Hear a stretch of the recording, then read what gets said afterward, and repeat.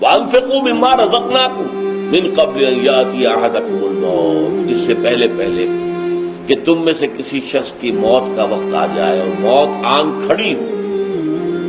من قبل ان یاتی احدکم الموت۔ فیقول پھر اس وقت وہ کہے گا، رب لولا اخرتنی الى اجل قریب پروردگار کیوں نہ تو ذرا مؤخر کر دے اس موت کو مجھ سے، تھوڑی سی دیر۔ فصدق واکم من الصالحین پھر میں سب صدقہ کر دوں گا، سارا تیری راہ میں خرچ کر دوں گا، کچھ نہیں بچاؤں گا اور صالح بن جاؤں گا۔ ظاہر بات ہے، جب آدمی دیکھ رہا ہے کہ میرا تو اب یہاں سے کوچ ہے، تو یہ مال تو رہ جائے گا تو وارثوں کے لیے رہ جائے گا، میرا تو نہیں۔ لہٰذا اس وقت وہ تیار ہو جائے۔ گا اگر ذرا مہلت مل جائے؟ موت سے پہلے پہلے اسے خیال نہیں آئے گا۔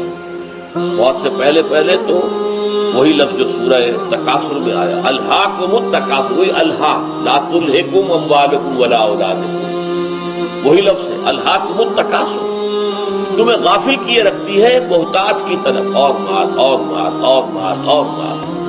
اتنی دولت ہے کہ دس پشتوں کے لیے کافی ہے۔ لیکن مزید کا ہوکا پڑا ہوا ہے۔ مزید ملے مزید ملے مزید ملے۔ الحاکم التقاصر حتی زرتم المقابر، یہاں تک کہ تم قبروں تک پہنچ جاتے ہو۔ اس وقت تک یہ جو تمہارے اوپر غفلت داری کیے رکھتی ہے شے محتاج کی طرف۔ تو وہی یہاں پر فرمایا، لا تلحکم اموالکم ولا اولادکم عن ذکر اللہ۔ ومن یفعل ذلك فاولئک هم الخاسرون۔ وانفقوا مما رزقناکم من قبل ان یاتی احدکم الموت۔ فیقول رب لولا خرطنی الى اجل قریب۔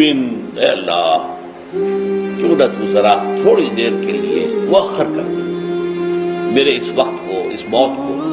فَأَصَّدَّقَ، میں سب صدقہ میں دے دوں گا، خیرات کر دوں گا، تیرے دین کے لیے لگا دوں گا۔ واقم من الصالحین اور میں تیرے صالحین میں سے ہو جاؤں گا، صالح بندوں میں سے ہو جاؤں گا۔ لیکن اللہ کا تبصرہ کیا ہے؟ وَلَن يُؤَخِّرَ اللَّهُ نَفْسًا إِذَا جَاءَ أَجَلُهَا ہرگز اللہ مؤخر نہیں کرے گا کسی کے وقت کو۔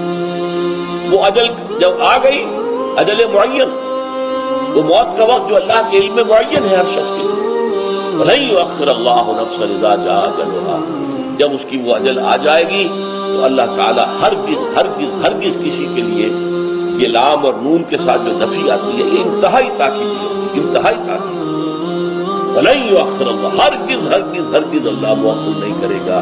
کسی کے موت کے وقت کو جبکہ وہ آ جائے واللہ خبیر بما تعمل اللہ خوب جانتا ہے یہ تم کر رہے ہو۔